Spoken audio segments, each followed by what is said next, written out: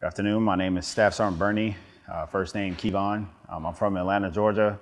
I'm currently attending the Force Fitness Instructor course. I'm a martial arts instructor trainer. Um, I have my bachelor's degree in health and wellness, master's degree in exercise science, and I'm currently pursuing my PhD in health and human performance. Uh, next one is going to be the Ammo-Can deadlift. Deadlift is kind of squatty, meaning that he's using his legs. He's kind of bending at the waist too much. Uh, for him to do a proper hinge, he needs to bend more at the waist and not so much at the knees because it's turning from being a deadlift to being an Ammo-Can squat. But not too bad. His core's remaining tight, stable base, good posture. Uh, they're showing us from a different angle. Not too bad. He just needs to hinge a lot more. Uh, maybe open up his feet just a little bit.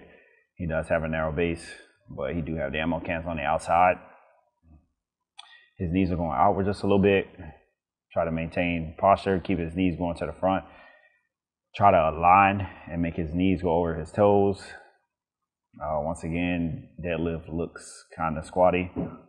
Need to hinge a little bit more, meaning less bend at the knees and try to use his back to lift it up if he's working on a deadlift and not a squat.